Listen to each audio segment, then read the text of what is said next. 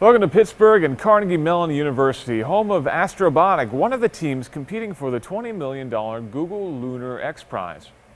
Now, the last time we saw Astrobotic, we were in the middle of the Mojave Desert, where they were testing out their landing systems in preparation for landing on the moon. Today, we're going to check out what happens next, see if they can actually broadcast high-definition video from the lunar surface all the way back here to us on Earth.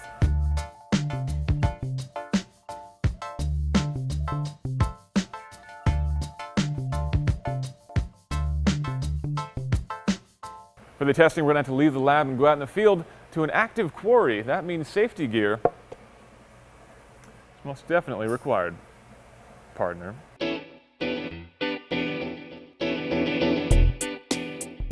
So we're at the Lafarge test site. We're testing the image system on the rover. We're looking at the quality of the images that come off the cameras and then we're transmitting those over a link that's similar to what we'll use on the moon. From the Earth to the Moon, we have a signal propagation delay of 2.5 seconds. So when we send a command from Earth, it takes 2.5 seconds to reach the Moon. And from the Moon, the, the image feedback that gives the result of that action would be another 2.5 seconds. So we press a button to make the robot do something, then we see it five seconds later. So we have to plan for that in our driving strategy.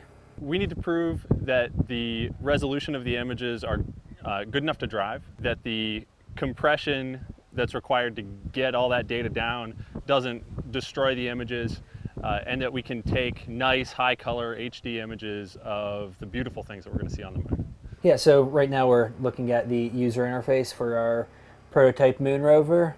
On it, we can see the images that are fed to it. Those are used to uh, control the rover, and the higher definition images are streamed back to Earth for the viewing of the public. The two cameras give us stereo video. On the moon, uh, the sunlight's very bright, very gray, it's very flat, and so it's hard to tell distances. We use the stereo cameras to be able to tell distance to things like rocks and craters so we don't get stuck. One of the key uh, requirements of the Google Lunar X Prize is to prove that we traveled 500 meters on the moon and this screen actually updates our distance estimate in real time so we know how far we've traveled and we're also able to see the exact number of rotations for each wheel because that's that along with computer vision techniques are the two key data points for our distance verification. The rover has a suspension that allows it to drive at low speeds very capably. It's a single pivot suspension, one pivot up front, and then all of the rest of the suspension is fixed.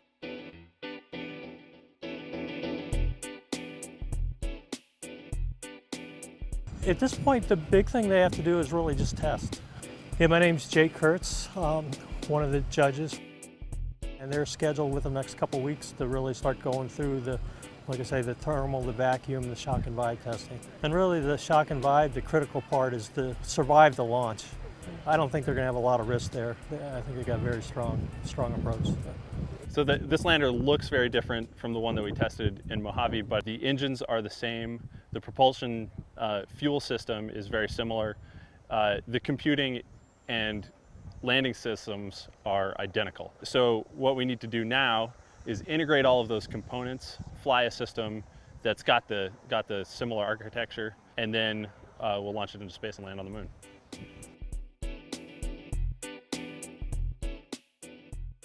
This is Tim Stevens covering the Google Lunar X Prize for CNET.